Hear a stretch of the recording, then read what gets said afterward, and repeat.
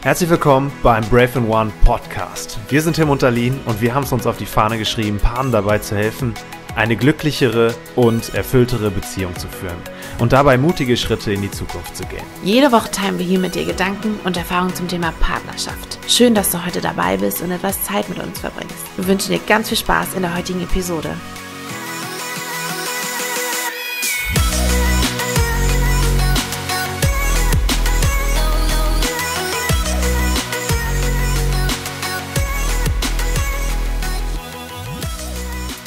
Ihr Lieben, herzlich willkommen zu einer weiteren Podcast-Folge hier im Brave One Podcast. Mittlerweile ein Stück weit auch fast Dalins Podcast geworden. Nee, nee, nee, nee, nee, mein Freund. So einfach ist das hier aber nicht, du. nee, ähm, genau, heute wieder ein paar Thema, was wir für euch vorbereitet haben. Und zwar geht es darum, wie man am besten damit umgehen kann, wenn man jetzt so vollkommen unmotiviert ins neue Jahr gestartet ist. Ähm, einfach aus dem Grund, weil es bei uns dieses Jahr so ein bisschen so war ähm, wir sind äh, ja irgendwie echt gefühlt so ein bisschen in das Jahr gestolpert und waren irgendwie so gar nicht, keine Ahnung, wo geht's hin, so was passiert. Und das wollten wir einfach mal zum Anlass nehmen, ähm, euch da so ein bisschen mit reinzunehmen und was wir gemacht haben, damit wir jetzt auch wieder ja, voller Motivation sind und wie wir mit dieser Situation einfach umgegangen sind. Vielleicht ist das ja bei dem einen oder anderen auch so. Yes. Bevor wir richtig reinstarten mit dem Thema, habe ich noch eine sehr aktuelle Einladung für euch, beziehungsweise für alle Frauen unter euch. Am Sonntag findet ähm, wieder, das fand schon einmal im September statt, das Beziehungsseminar statt. Das heißt, ähm, für alle Powerfrauen da draußen, die endlich ihre destruktiven Beziehungsmuster, ähm, Gedankenkarusselle, Zweifel oder innere Blockaden rund um Thema Partnerschaft loswerden wollen, Singles oder vergeben ganz gleich, ihr seid herzlich eingeladen. Das Seminar wird euch die drei Geheimnisse ähm, ja mitgeben, die drei Stellschrauben, woran ihr drehen könnt und arbeiten könnt, um dieses ähm, diese Herausforderung in 2023 endlich für euch zu lösen. Deswegen herzliche Einladung, Sonntag, 15.01.2023 um 11 Uhr. Der Link ist in den Show Notes. Ähm, ich freue mich auf euch. Genau, ich war schon in, äh, in Lauerstellung und äh, Nein, nein, nein, hat die Darlene was vergessen? nee, war mir nicht sicher, ob sie jetzt auch nochmal Datum und Uhrzeit nennt. Sonst hätte ich das jetzt nochmal genannt. Genau. Also, kommen wir zum Thema unmotiviert ins neue Jahr starten. Am besten nicht, ne? Ähm, aber genau, was, was ihr jetzt tun könnt, wenn es jetzt tatsächlich doch war. Ähm, also was wir gemacht haben oder was jetzt so, ähm, was uns erstmal geholfen hat, war erstmal so zurückzugucken. Ähm, das ist der erste der drei Punkte. Genau. Unser hm. erster Punkt heißt anerkennen, was war.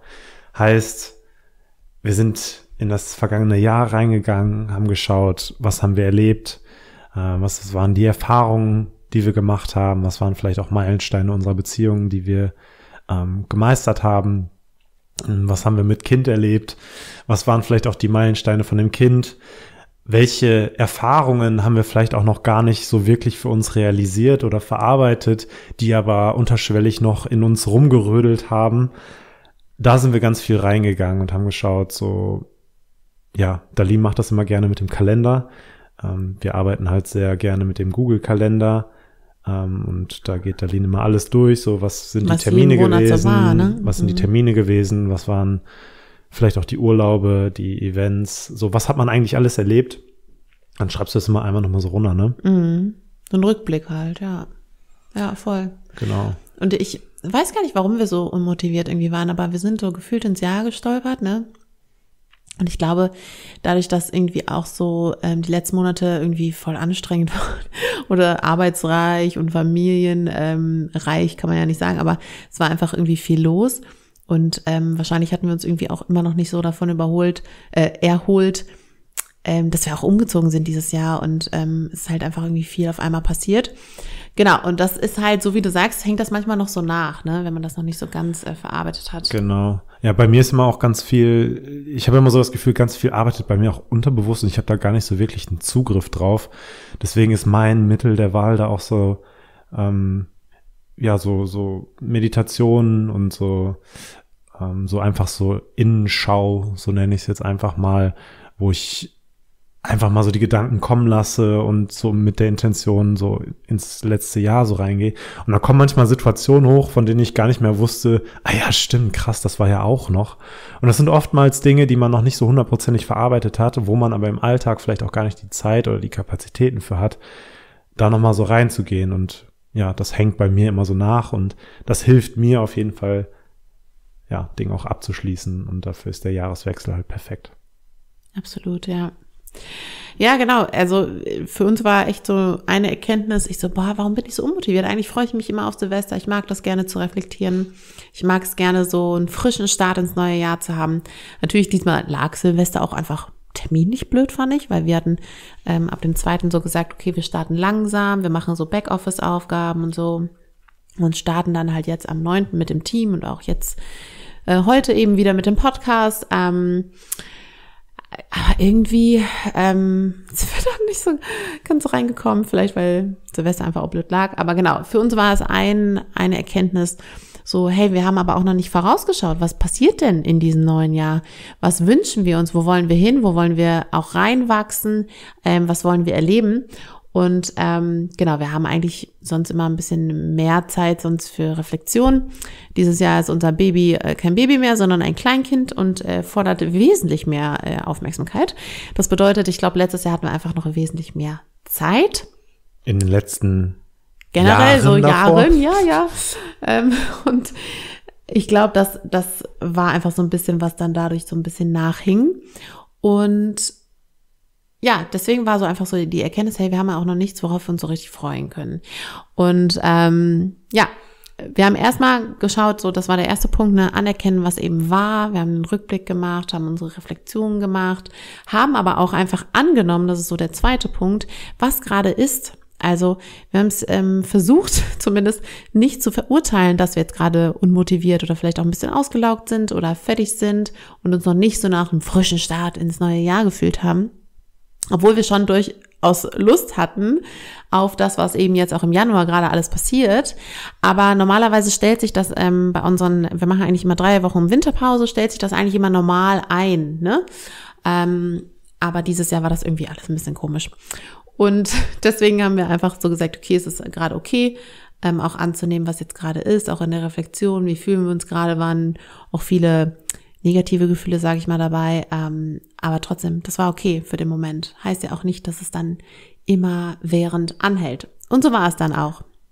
Äh, erstmal nochmal dazu zu sagen, auch negative Gefühle haben ihre Berechtigung. Absolut. Ne? Also braucht man jetzt auch nicht verurteilen.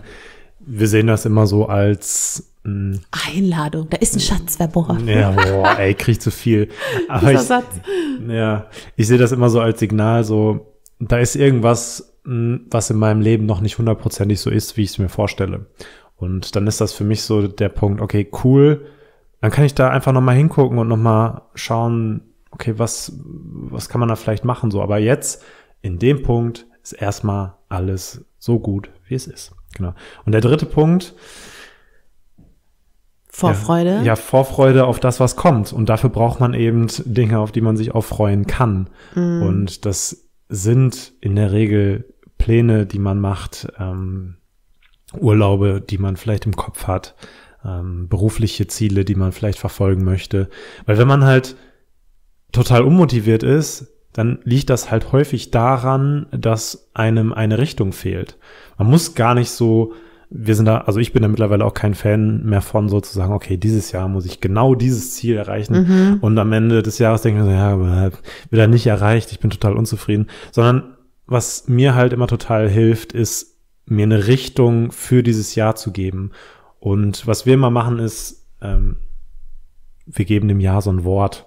Da haben wir auch eine Podcast-Folge zu. Haben wir auch einmal Anfang des Genau, Jahres mit gemacht. Intention ins neue Jahr starten. Ne? Also Mhm. könnte ein Jahr mal zurückspringen. Ein Jahr oder vielleicht auch. Vielleicht auch zwei. Zwei, drei. Keine Ahnung. genau.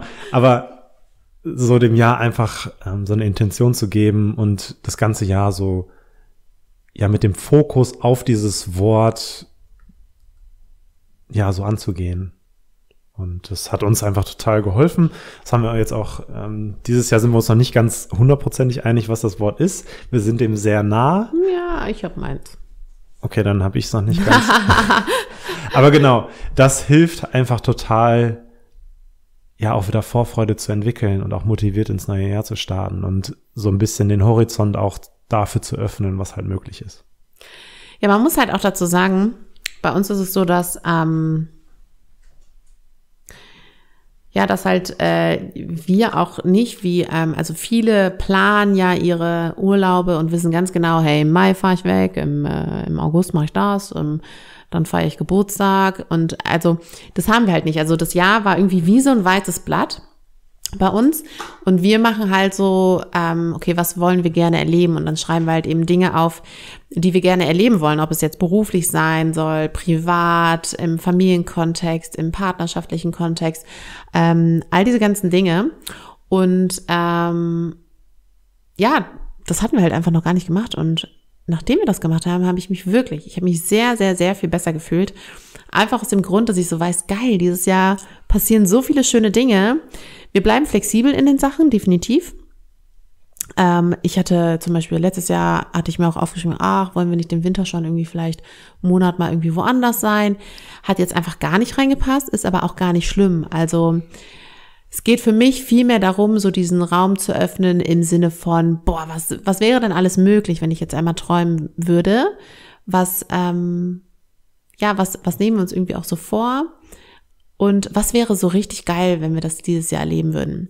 Und wenn man sich eben, also wenn man so diesen Raum der Träume einmal öffnet, das ist halt so schön, da dann halt einfach auch so zu beobachten, wo man hingeht. Weil wenn man diese Richtung hat, dann hat man so einen Nordstern, so einen Kompass, aber es ist halt nicht so, dass die Ergebnisse so fix sind, sondern man sich so eher so ein bisschen mehr vom Leben überraschen lässt. So würde ich mhm. sagen, glaube ich. Ja, und für alle, die sich jetzt als Ziel für dieses Jahr äh, gesetzt haben oder setzen, dass sie sich von ihren destruktiven Beziehungsmuster lösen möchten. Nochmal eine kurze Einladung für Darlins Seminar am Sonntag. Genau. Ja, also das ist wirklich eine ernsthafte, äh, ernsthaftige Einladung, einfach weil ich habe mit so vielen Klientinnen zusammengearbeitet, ich habe mit so vielen ähm, Frauen Erstgespräche geführt, Kennenlerngespräche und da ist so viel Schmerz teilweise, so viel Anstrengung, so viel Herausforderung, die einfach gar nicht sein müsste. Und äh, man muss halt nur an den richtigen Stellschrauben drehen und deswegen ist es echt so meine Mission und mein Herzensanliegen da, noch mehr Powerfrauen in eine erfüllte Partnerschaft zu bringen. Genau, ihr Lieben, das waren unsere drei Punkte zu dem heutigen Thema unmotiviert ins neue Jahr gestartet. Ich wiederhole sie nochmal einmal. Ähm, der erste Punkt ist anerkennen, was war, heißt Reflexion, zu gucken, was, was passiert ist, ähm, entweder durch Meditation oder durch den Kalender gucken, so haben wir es zumindest gemacht. Das zweite ist anerkennen, was ist. Alle positiven und negativen Gefühle dürfen alle sein. Und das dritte ist, Vorfreude auf das, was kommt, entsteht dadurch, dass man dem Jahr eine Intention gibt oder Ziele setzt oder ähm, ja, Dinge einfach auch schon plant. Genau, das sind unsere drei Punkte. Ja. Wir hoffen, ihr konntet wieder was mitnehmen und freuen uns darauf, euch nächste Woche mit der zweiten Folge hier in diesem Jahr wieder begrüßen zu dürfen. Wir wünschen euch eine wundervolle Woche. Bis dahin. Ciao.